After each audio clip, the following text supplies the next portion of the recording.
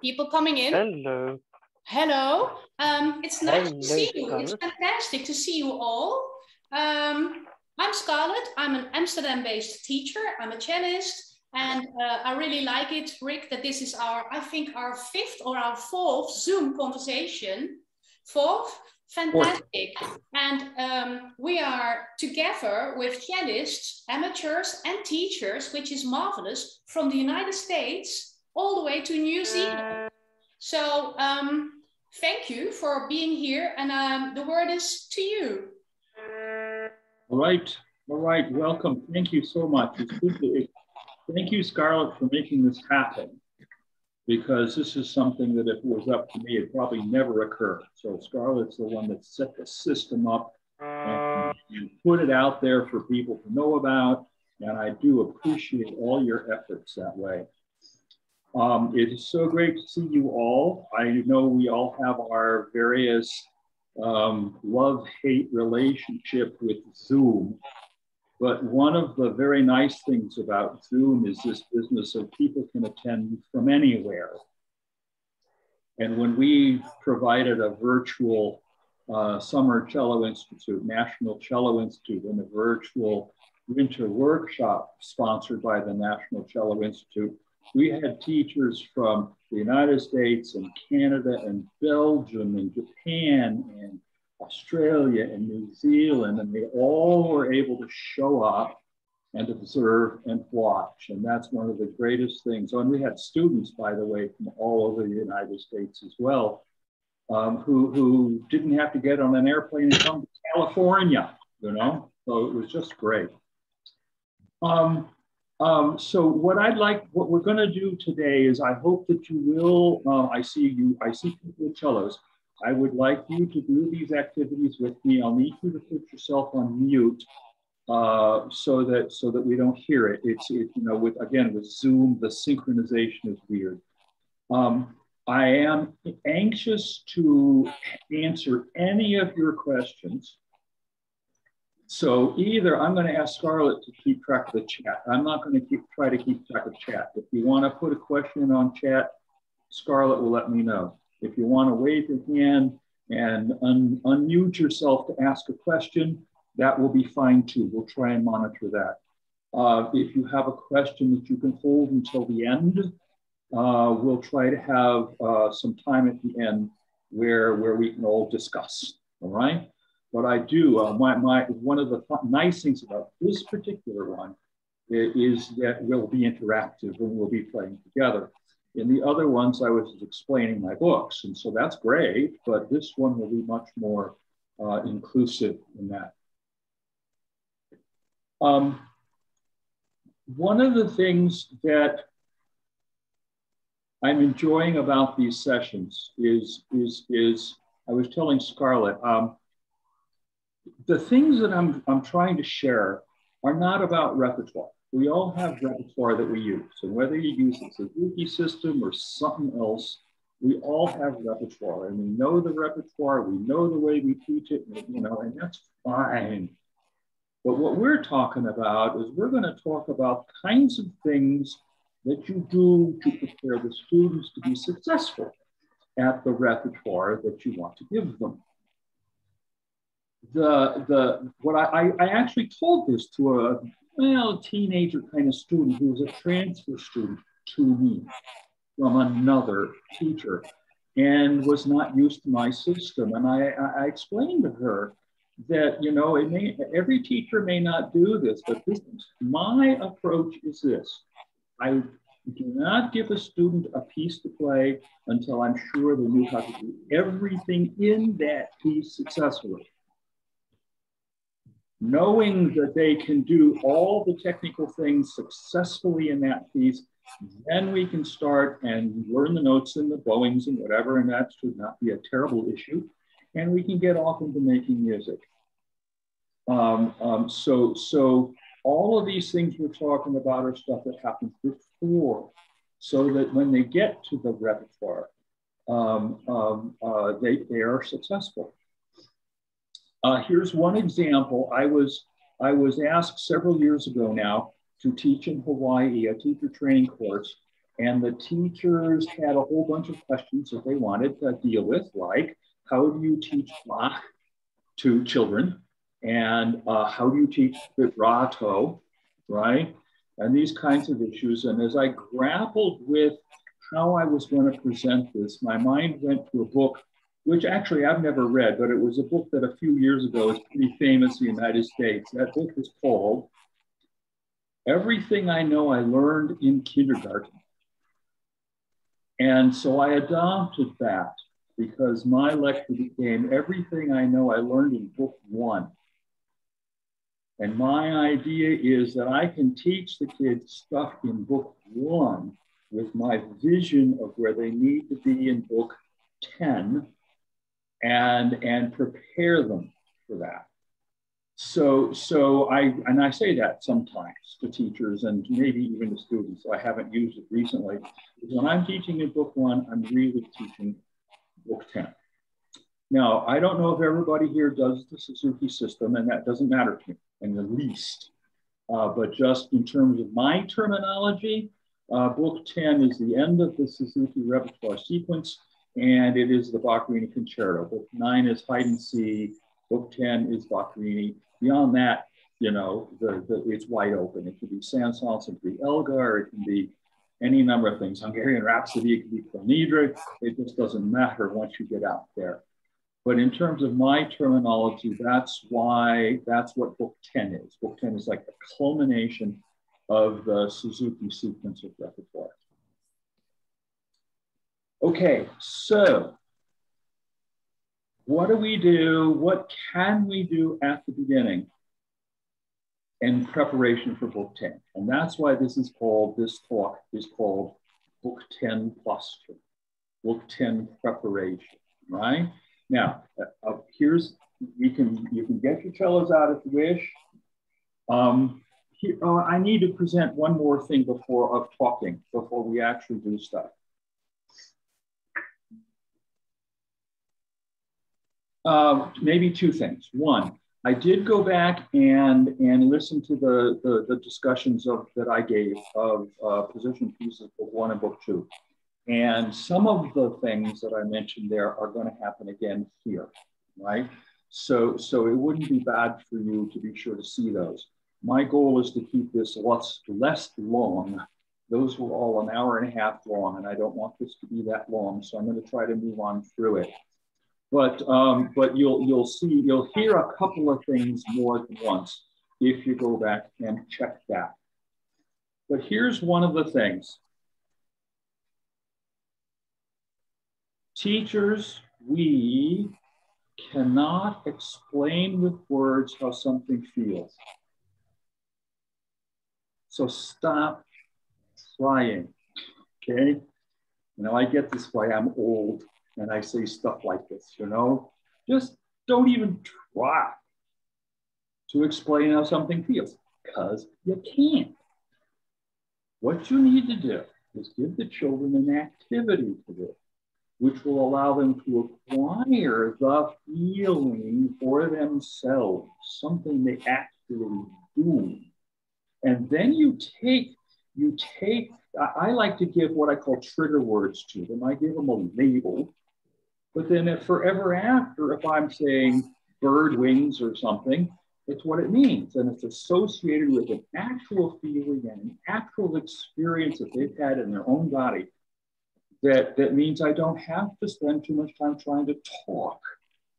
And I did mention in the position pieces book one how when, when we in the SAA have asked teachers to record themselves giving a lesson and then watch it, almost all of them say, well, I talk too much. And so our goal is to give them stuff to do and not try to talk about things that are inexplicable. All right. So um, here's one of them. It's called, uh, and I'm going to try to give credit along the way where credit is due. A lot of the stuff I learned from Margaret Rowell. Um, and, and she used what she calls the bear hug. Okay. Now, this is something you guys can do with me.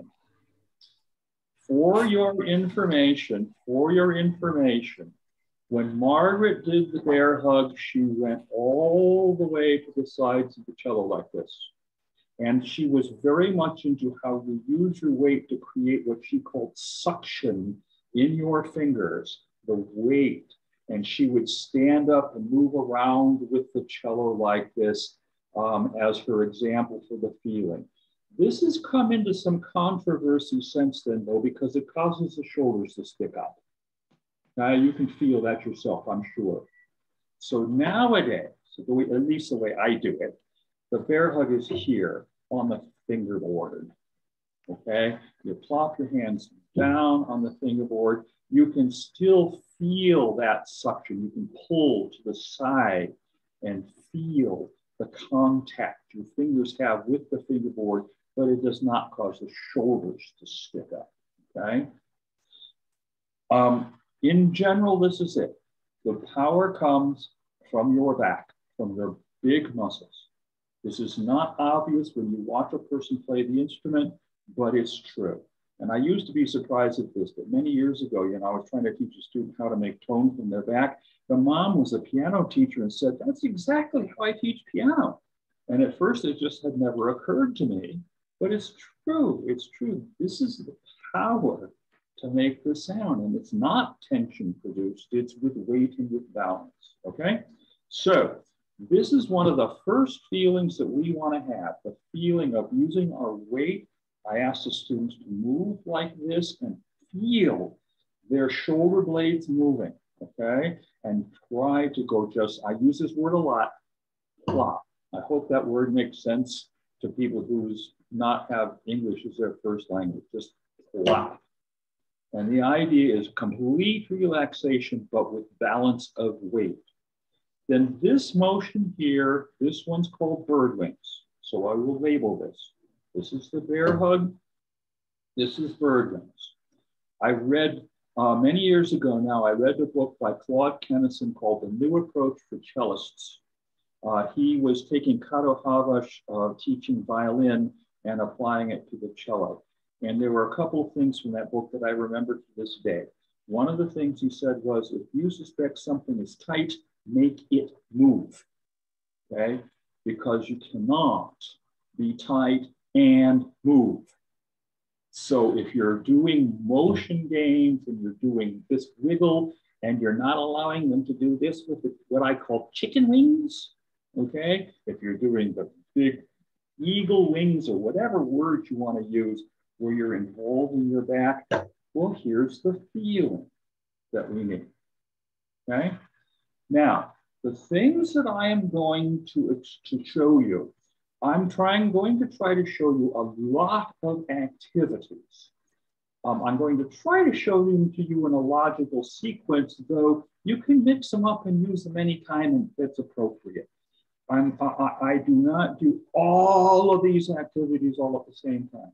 I do not do all of these things in a row, but I wanted to give you a whole collection of things that you can bring out and use as necessary and as appropriate with your teaching. And I will refer to this, so I won't talk about it a lot now. But one of the things that happens is, uh, this is so great in group class. If you guys te teach group classes, it's really, really good. And I would have in, in my semester, in the school semester, I would have a particular thing that we would do the entire semester. And then the next semester, we could move along and do something else. All right, so here's one of the first things is what Margaret Rowell used to call knuckle knocks and it's where your hand is very, very soft and very, very wiggly, and you move from here to here to here to here.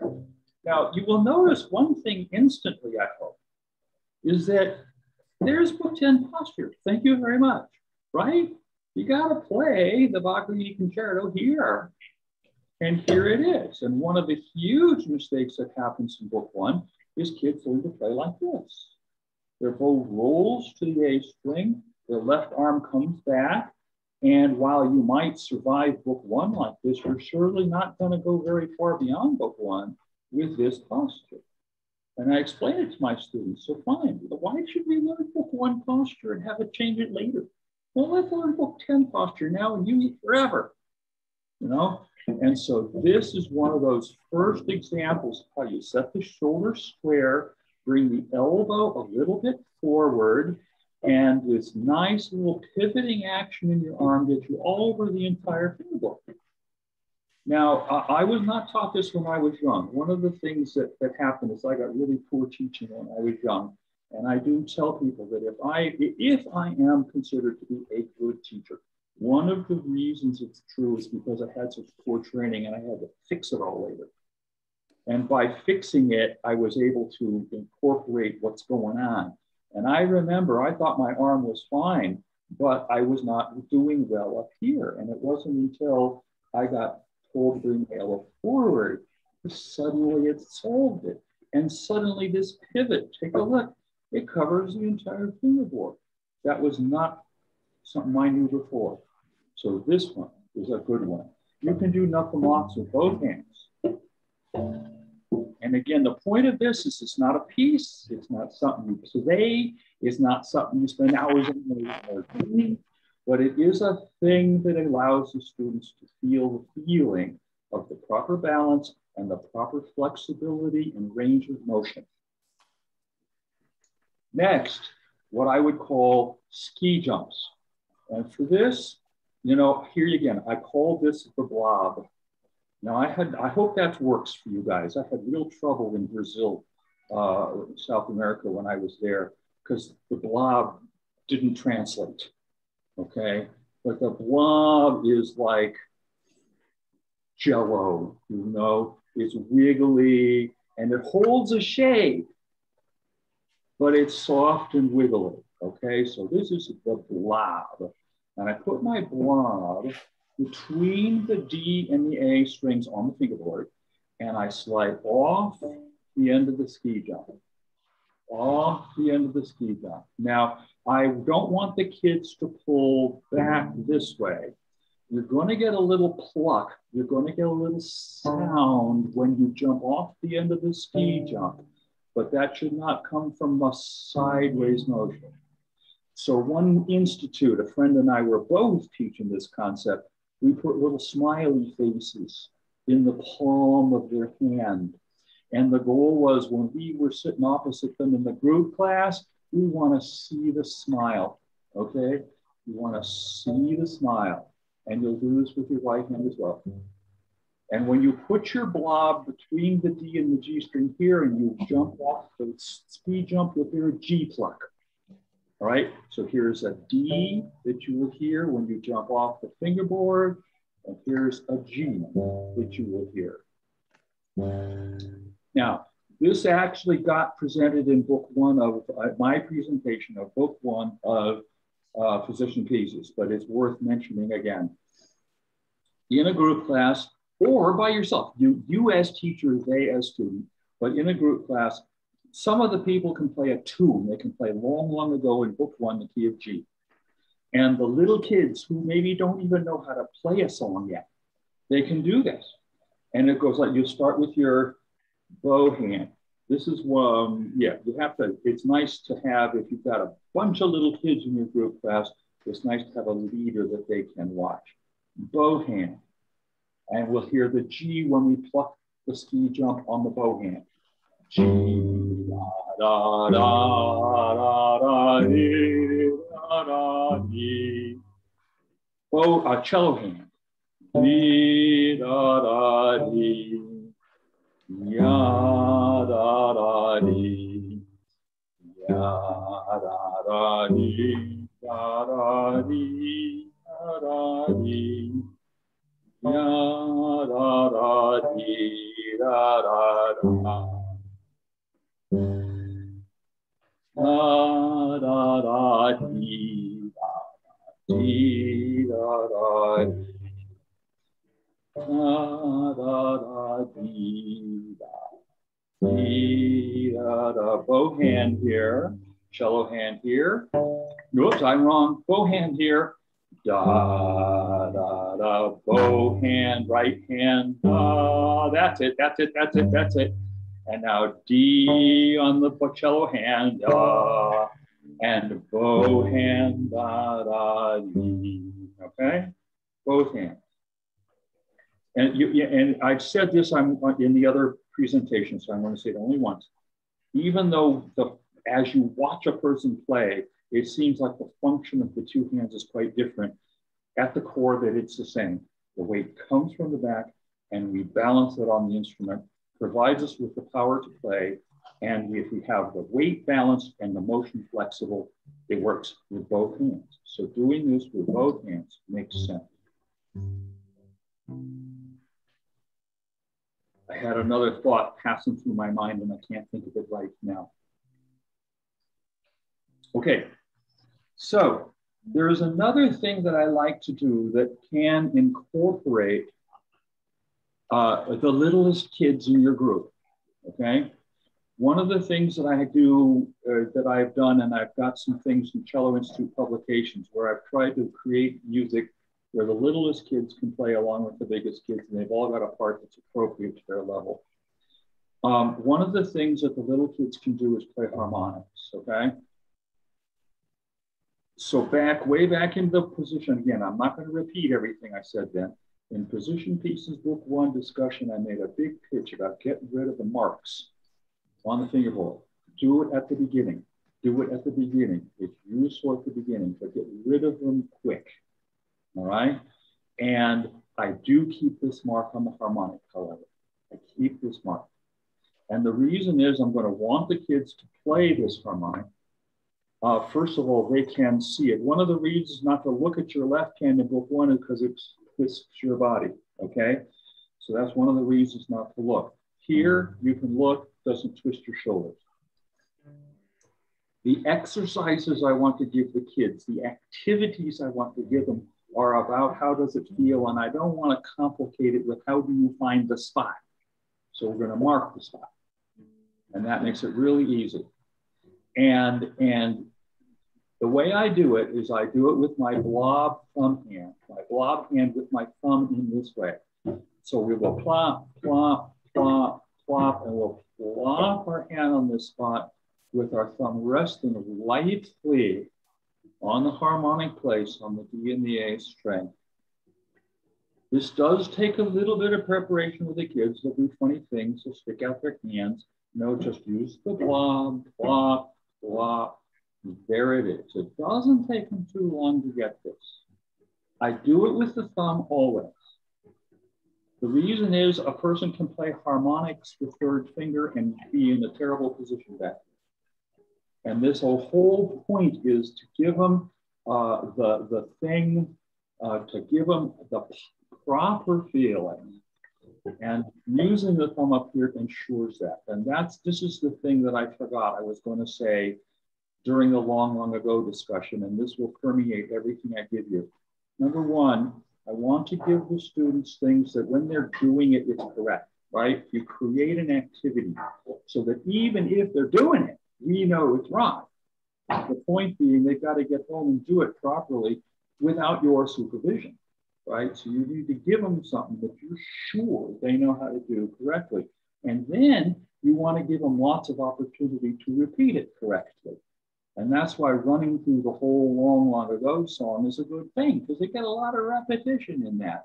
And yet it's a tune and it's fun and it works. It's an ensemble, if you will. So the same is going to be with some of these harmonic issues.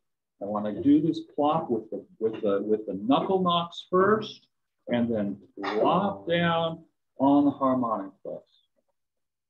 One of the first things I'll do, you'll need your bow for this, is this one. I'll just have them plop on the D and the G string and play a D and G harmonic back and forth with the knuckle knocks. I, I used to, when we were in a group, I would go one, two, three, four, flop.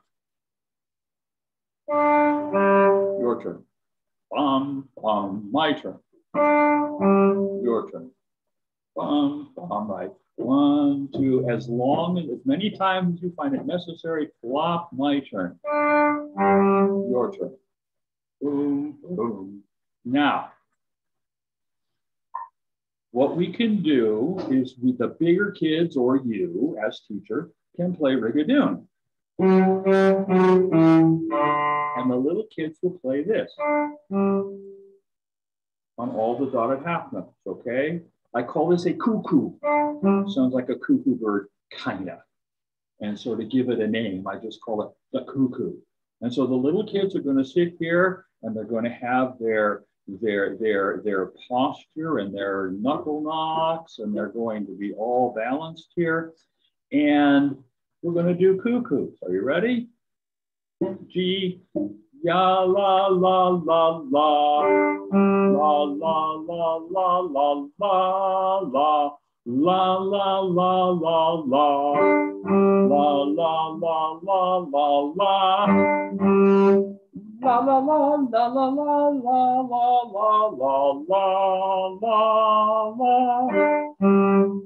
la la. La la la la la la la la la. This two lines, there are no dotted half notes, so this is all about bird wings while they hold their place.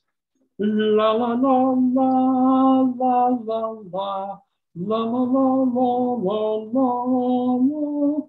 La la la la la la la la la la la La la la la la La la la la la la La la la la la La la la la la la la. So here again, it's an activity where the little kids are set up their hand is soft. We're not, if, let me just say this now because it's occurring to me. It permeates almost everything we're going to do here today. You want to teach vibrato? Teach them not to squeeze with their thumb. Because the bad vibratos all come from this. All come from squeezing and shaking. If you teach the kids how to play without squeezing with their thumb, then when it comes the proper time, the vibrato is going to work. And so again, we're going to start at book one. This is not something that you want to deal with and fix later. One of the hardest things that, that, that we do is fix a vibrato that's bad. And I won't talk about that. It's going to take too much time off the main course of our discussion. But you've had enough experience, you know that if you got a student with a bad vibrato, you basically have to start over again and retrain it. So let's just avoid that whole issue by teaching the kids at the beginning how to play without squeezing with their thumb. Now, jumping a little bit, I'm going to take this one through a sequence that is not appropriate for the littlest kids. The littlest kids can still sit there and play the cuckoos, but your big kids can start doing this.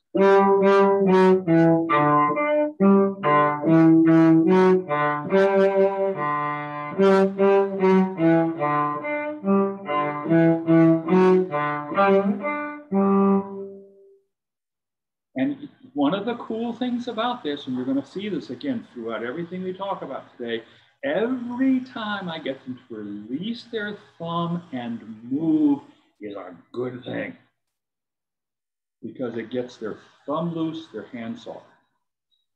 Then we can take what I call, and I'm going to let you guys play this. I'll show it to you the first two lines and then we'll try it. This is hard. This is a super bonus challenger round. This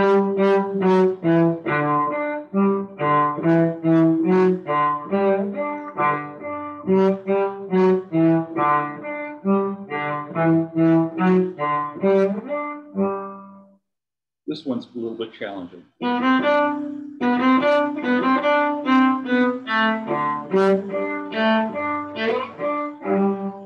When we get there. So you see cuckoo on every dotted half note and just a harmonic D on every regular half note. So we're going to, let's just try it. Do the best you can. This is a little hard to catch the very first time through, but that's where the recording is going to help us. You can all go back and refer. So let's give this a try. Let's try the super challenge bonus round of Rigadoon and the harmonics. Ready, go. Thank you.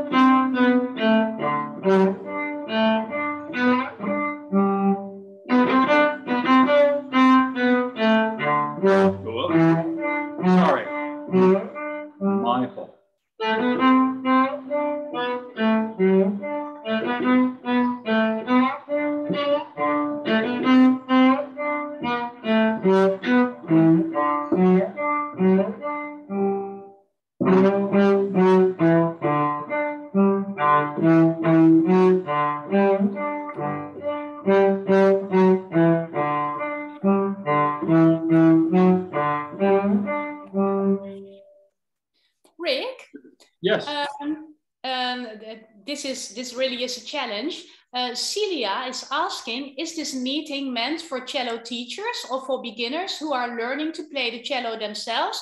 I belong to the last group, but wonder if I if I is also if it is also meant for pupils. Can you answer that? Uh, yes. My basic uh, approach is basically to teachers as they're presenting these issues to their students. But there's nothing wrong with a student hearing these things and trying these things out because ultimately you hear it from me or you hear it from your teacher, one way or the other. And you may find if you're not experienced with some of these things, you may find them a little hard. Um, um, in, which case, that's fine. You know, there's nothing wrong with that. And again, I say to you all, that's where where where Scarlett making the recording and making the recordings available is so valuable because even if you don't quite get it here today, you can go back and listen and you can check it out for the future. So, so yes, if you are a, a student and you're tuning into this, just please try it anyway. And, and don't worry about it if it doesn't work the first time through, okay? Um, there's one more thing that I want to show you uh, that that that it deals that the little kids can do with just harmonics alone. And then there's a few more things that will come up. I want to give credit to this next thing to Rodney Farrar. He figured this out. He's got a book, I think it used to be online, online called Fat Notes. And, and he's got a, a Go Tell Aunt Rhody ensemble, which uses harmonics as a desk camp. Uh, Rigadoon, Cuckoos, I'll game, take credit for that one myself. Uh, but, but Rodney Farrar did this. You can teach this in a group. My turn, listen. G string.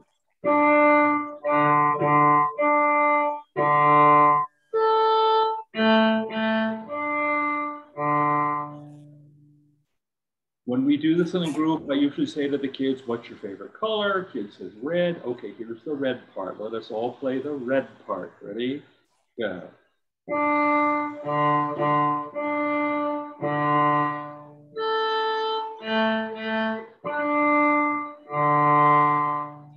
I'm going to kind of run through this. You'll have to do it many times with the kids till they get it, but it's not that hard. You get it done in 15 minutes. You get it. Red part two times.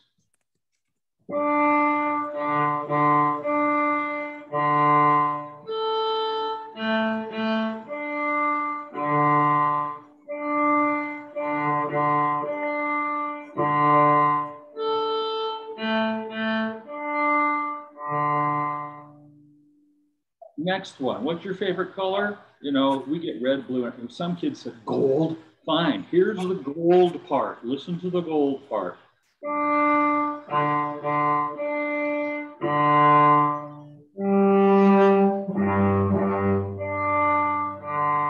It's the same as the red part, only we're playing G instead. Okay, so let's play the gold part and let's play it twice. Ready? Good.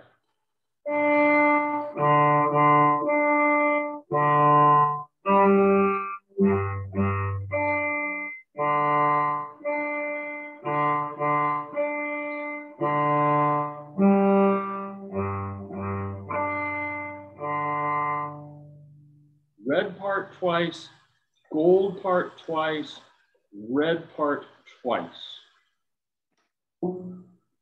Ready? La, la, la, la,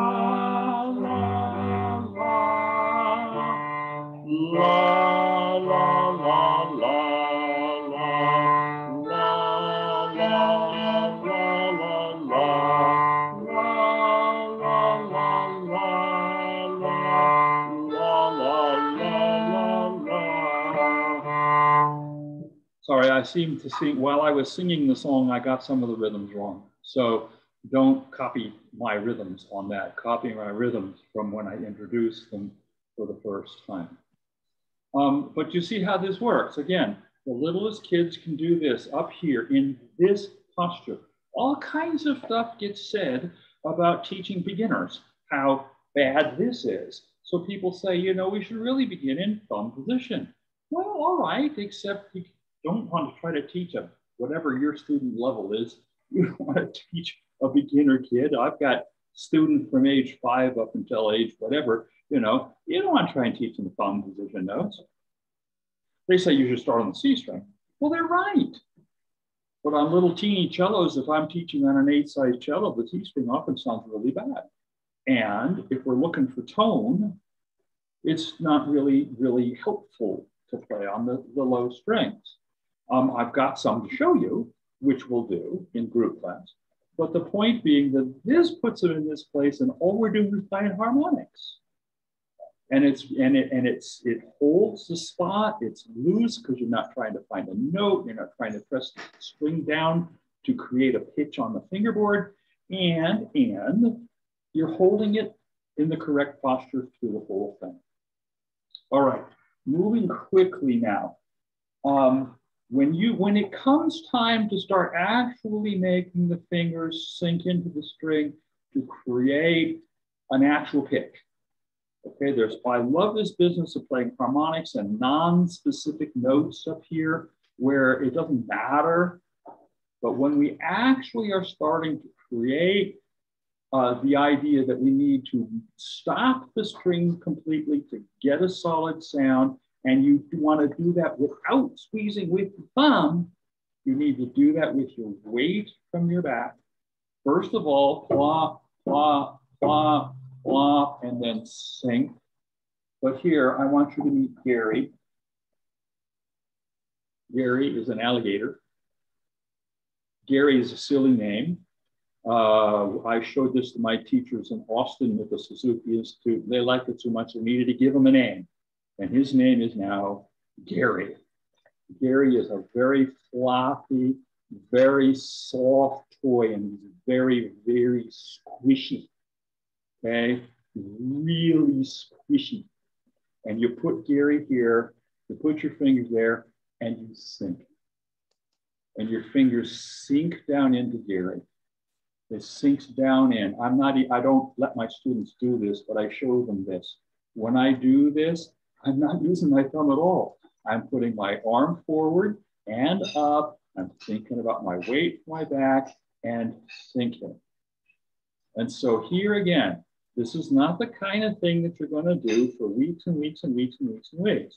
But if you're trying to introduce a feeling to a student without using too many words, here it is.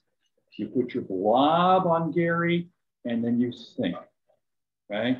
Now, I wish I knew how to tell you where to get these. Um, we got them at a store here in, in, in LA. Uh, they've got to be somewhere online. And I think the most important thing to see is how wiggly it is, how squishy it is. It needs to be, if you're going to try to find one of these and be very, very soft. Okay. So here we go with this idea. Now, so that means we might do something like this. Now I'm jumping around a little bit here. This is not something I would teach my Twinkle students, but this is something that my students can do in book one. Carrie Hockett, who also has a great set of resources online. I think her website is called Corky Bird. Corky Bird. So you can look up Corky Bird or Carrie Hockett. She's got music and all kinds of stuff there. She's a terribly wonderful creative person. She wrote this piece called Countdown. Um, let me show you the end product. I'm not going to do the end product with you very much.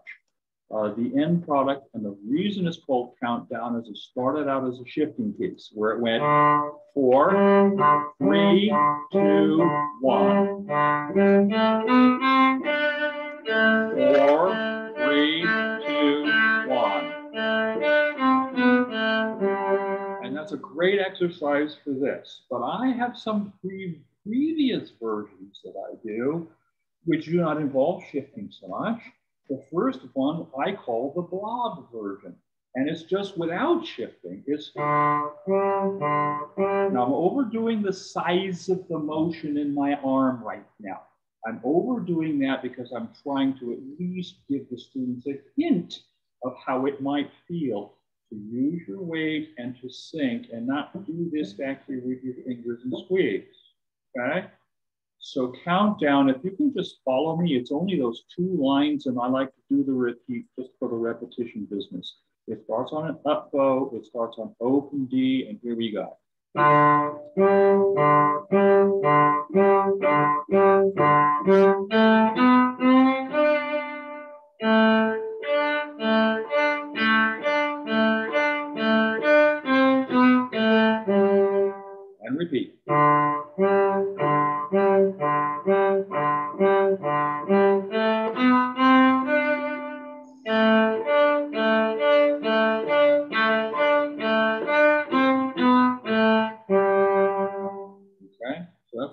Entirety of the piece. And, and it's so nice to use, I mean, the shifting is the reason it was written and it's perfect for that purpose, but you know, it's perfect for this purpose as well. So then what I'd like to do is I like to do the harmonics version with a blob here, G, then harmonic. G, then harmonic. D, and harmonic.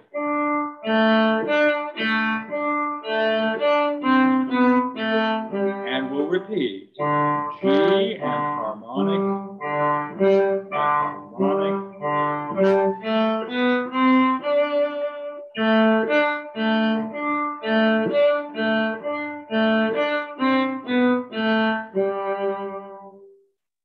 So you see here again, anytime I get them to release their thumb and move their arm.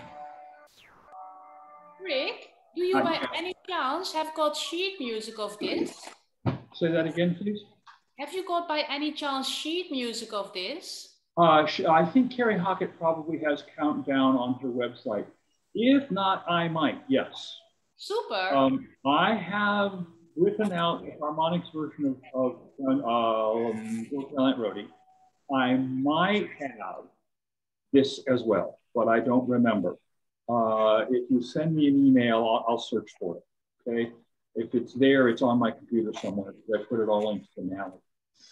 And so, and so, uh, if so, I would be happy to send it forward to you. But do look at Carrie Hockett's site because she's the original composer in the first place. Um, Elizabeth says, Carrie Beth Hockett has shared it on the Suzuki Cello Teachers Facebook page. I'm not in that, but okay. thank you, Elizabeth, for telling us. Yes, yes. And as I said, credit where credit is due. We borrow from each other, we share, and it's really one of the rich things about the Suzuki system is the teachers are so open and willing to exchange ideas. You know, back in the old days, someone said, would say to a teacher, well, how do you get your students to play so well? And the teacher would, well, come and pay me for lessons and I'll show you. And we don't have that attitude. The attitude is let's share it. We've all figured stuff out that works and let's just, let's just all use it, you know? And everybody benefits from that. And Carrie is awfully good at that. So, so do look up her website. And again, I don't think you have to go to the Suzuki website to see her. I do believe she has her own website. So, so try and check that out. And again, if you have trouble with that, someone should let me know. I'll find it and send you the link. Okay, so I can help you. All right, so let's just do one other thing that deals with this business of large motions with the little kids moving freely all over the fingerboard. Okay, and this I will call water slides. These were ski jumps. And then this is water slides where we're going to plop our hand. We're going to go one, two, three, and plop. And we're going to tuck our fourth finger next to the A string, and we're going to take the water slide down to a D. Okay? And then we're going to go plop, plop, plop, and pluck our finger down into the D string and slide down the slide to a G. And so this is allegro, is what this is. Bum bum bum bum bum bum bum bum bum bum bum bum bum bum bum bum bum bum Bum bum bum bum bum bum bum bum bum bum bum bum bum bum bum bum. This part, there's no slides. So again, bird wings. La la la la la la.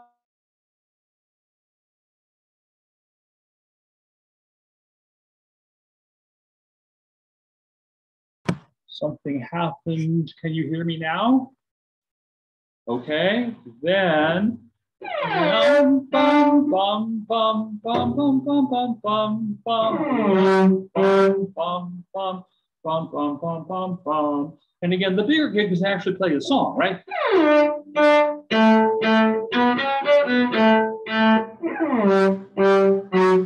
and get the same experience but play all the rest of the notes also um, so, so here again, we're talking about,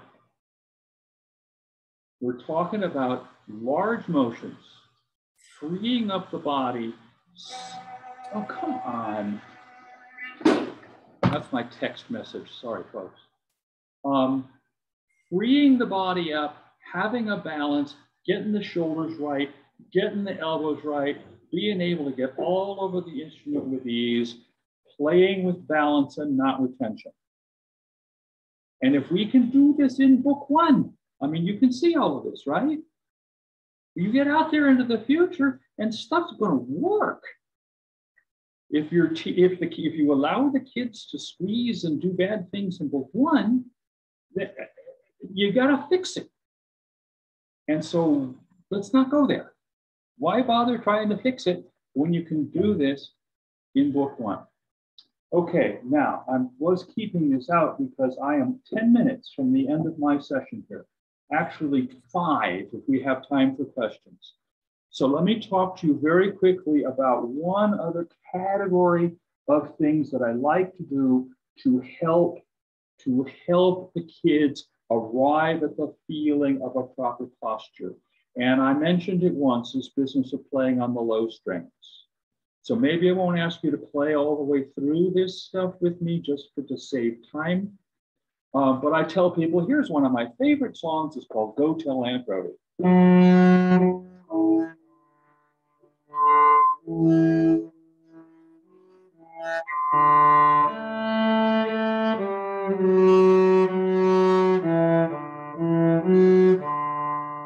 And so on. We would play the whole thing. Like I said, I'm trying to save time right now. And I have another song I like very much. It's called Go Tell Uncle Rhody.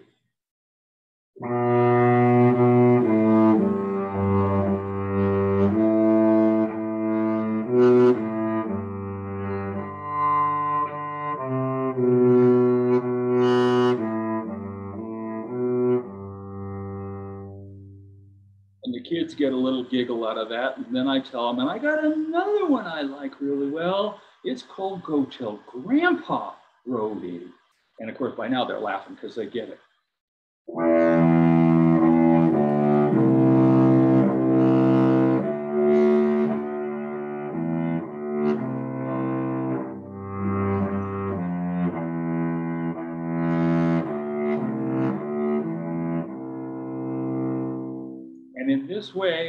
A song they already know, bring them around to the lowest string, which brings their elbow forward and their bow arm down. And you've got your posture, your book 10 posture. One thing I was going to say, and I did not say it, I'm not talking a lot about the bow today, mostly about the body and the ease with the left hand. There's a lot to talk about with the bow, not the least of which when you start teaching your kids the bow, you want to use one of these twinkle bows, okay? That means that they can hold the bow properly and there's no weight to support. So we, um, and I have discussed that we have we have three more sessions we want to do. I, I want to talk to you about one finger scales. We've set up, we've set up a date, October 12th. It's another Tuesday. It would be at the same time. And the point of this will be a one finger scale discussion. And, and, and uh, uh again, by breaking it out, it means that we wouldn't have to spend a long, long, long time discussing it. Then we want to talk about position, no, thumb position book one, thumb position book two. And again, I say to you, by breaking them into those sessions, the one of the things that I'm just sorry about in my previous um, um, just, um, recordings with this thing is that they're all an hour and a half long. And that's a huge commitment of time to make people try and do that. So this will break it down into chunks that will be more manageable to look at. And what I'm going to say now is, if you want to talk about bow and bow strokes, I got one of those too. I tend to think that in book one, we teach four bow strokes. We teach legato, staccato, martelé, and détaché. And if you can teach those four bow strokes in book one, they branch and refine into all advanced bow strokes into the future. So there is a discussion. If you're interested, let Scarlett know, and we'll try and and, and schedule that one.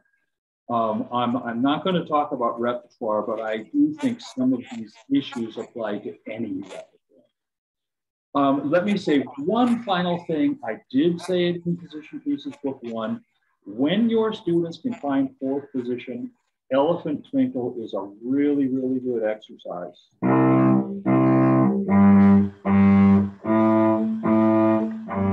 It requires fourth position.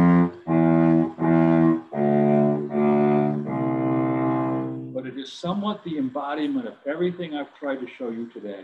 If they're even playing these notes here, they're in the right position.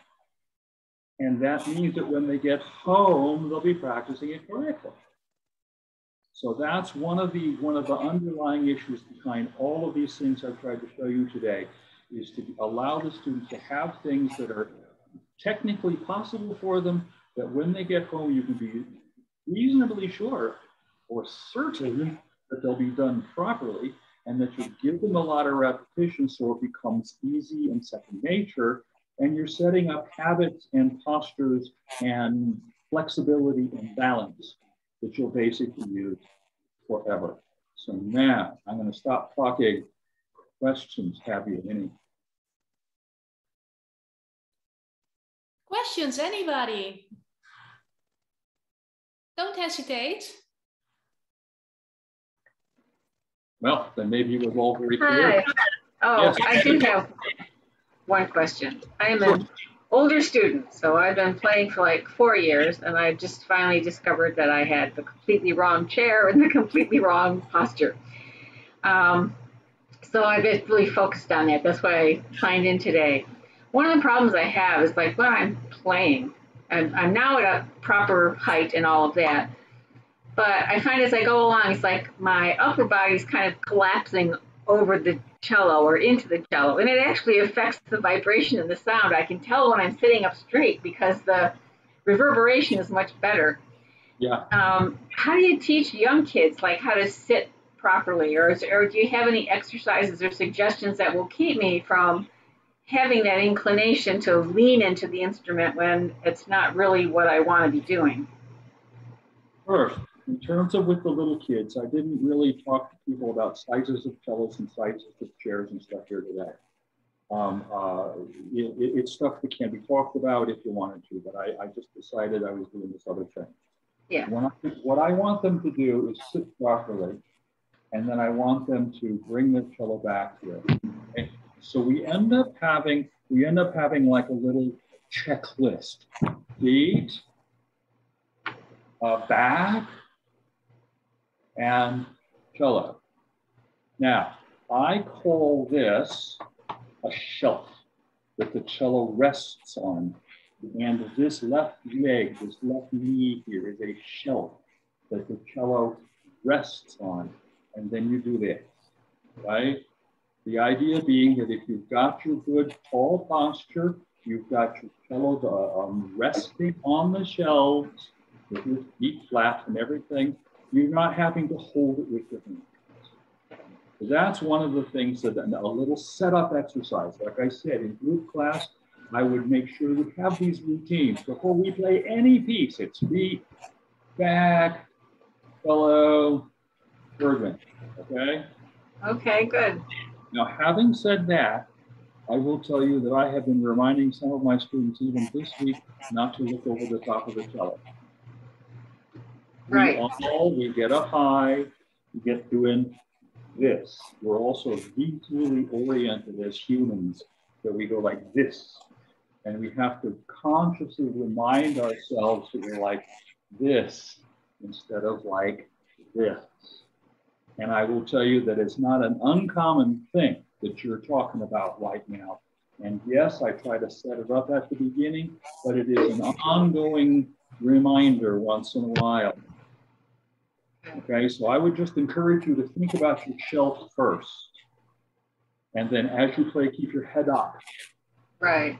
That's the secret, I think. You keep your head up. As soon as we look down, that's when shoulders come up and things get weird. Okay. Head up. Thank you. Sure. All right, well, if everything was clear enough that there's no confusion and no more questions, then maybe we're done for today. We're looking forward for the next next session. okay, yeah, so it was really nice. Just before you all came, uh, Scarlett and I set up this time in October, and we will have stuff to send to you in advance. I will send you PDFs of these one finger scale things that I do and and um, so so what we we will have another opportunity to have this kind of a session where I'm not just lecturing about my book, but we have a chance to experience for ourselves what the activities are like. Okay. okay. Is this a question? I didn't see it. Um, no, I did not see a, a question in the chat yet. Fine. Um, I, I just wanted to say to um, diminish the amount of email, I'm going to send all people that subscribed to this evening or to this morning um, with a Zoom link for the next time. And you're not, um, you're free to attend or not, but it will diminish the amount of emails for everybody. And I will also join the PDF. So give me two weeks um, before I make the new Zoom link and this recording, I will join that on my YouTube channel and I will also send that in this email, okay? So you will have everything um, without mailing me or something. All right, so thank you again, Scarlett, for, for facilitating and making this happen. And thank you all for showing up. It's, uh, it, it, it's, it's really nice to, to, to do this thing. I mean, like I said, I'm just so much into let's let's share and let's all learn from each other. And uh, it all gets better when we do that.